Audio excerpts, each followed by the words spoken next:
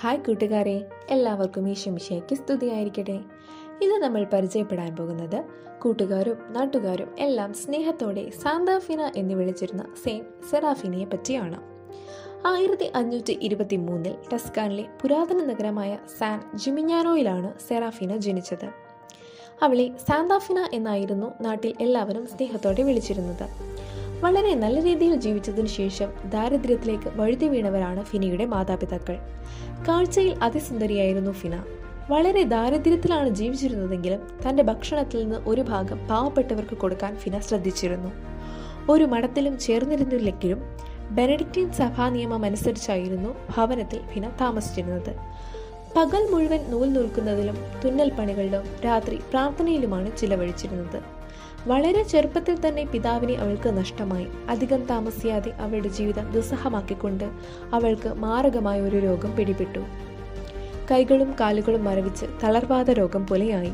സറാഫിനയുടെ രൂപഭംഗിയും ആകർഷത്വവും നഷ്ടപ്പെടുകയും കാഴ്ചയ്ക്ക് വിരൂപിയായി തീരുകയും ചെയ്തു. കർത്താവിനെ കുരിശിലെ സഹനങ്ങളെ പോലെ സഹനം അനുഭവിക്കാനുള്ള ആഗ്രഹത്താൽ ആറു വർഷത്തോളം അവൾ ഒരു മരപ്പലകയിൽ അനങ്ങുവാനും തിരിയുവാനും കഴിയാതെ കിടക്കേണ്ടി വന്നു. ജോലി ചെയ്യുവാനും യാചിക്കാനുമായി അവളുടെ മാതാവ് മണിക്കൂറോളുകൾ അവളെ ഒറ്റയ്ക്കാക്കി പോകുമായിരുന്നു. എന്നിരുന്നാലും അവൾ ഒരു പരാതിയും പറയുമായിരുന്നില്ല. കഠിനമായ വേദനകൾ സഹിക്കുമ്പോഴും അവൾ ക്രൂശിത രൂപത്തിൽ നോക്കി ഇങ്ങനെ പറയുമായിരുന്നു. എന്റെ വേദനകളല്ല യേശുവെ നിന്നെ കാണാനുള്ള ആഗ്രഹമാണ് എന്നെ വേദനിപ്പിക്കുന്നത്. ആ ഇടയ്ക്ക് അതിദാരുണമായ മറ്റൊരു സംഭവം ഉണ്ടായി. അവളെ തികച്ചും അനാഥയാക്കിക്കൊണ്ട് അവളുടെ അമ്മ മരണമടഞ്ഞു. നിരവധി അസുഖങ്ങളാൽ പരീക്ഷിക്കപ്പെട്ട വിശുദ്ധ ഗ്രിഗറിയെ പോലെ തനിക്കും തന്റെ സഹനങ്ങൾ സഹിക്കുവാനുള്ള കൃപ തരണമേ എന്ന് അവൾ പ്രാർത്ഥിച്ചു. അവളുടെ മരണത്തിന്റെ എട്ട് ദിവസം മുമ്പ് വിശുദ്ധ ഗ്രിഗറി അവർക്ക് ദർശനം നൽകിക്കൊണ്ട് ഇങ്ങനെ പറഞ്ഞു.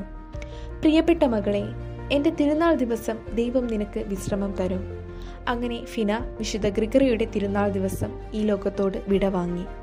മൃതസംസ്കാര കർമ്മങ്ങൾക്കായി അവളുടെ ശരീരം പലകയിൽ നിന്ന് മാറ്റിയപ്പോൾ അഴുകിപ്പോയിരുന്ന ആ പലക ലില്ലിപ്പൂക്കളാൽ അലങ്കരിക്കപ്പെട്ടതായി കാണപ്പെട്ടു.